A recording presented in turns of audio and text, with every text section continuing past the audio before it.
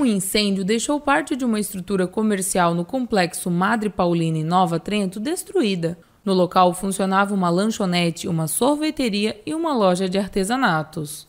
Na chegada da guarnição, populares já estavam na tentativa de controlar as chamas, porém sem sucesso. A guarnição de Tijucas deu apoio à ocorrência e, após duas horas de operação, a situação foi totalmente controlada.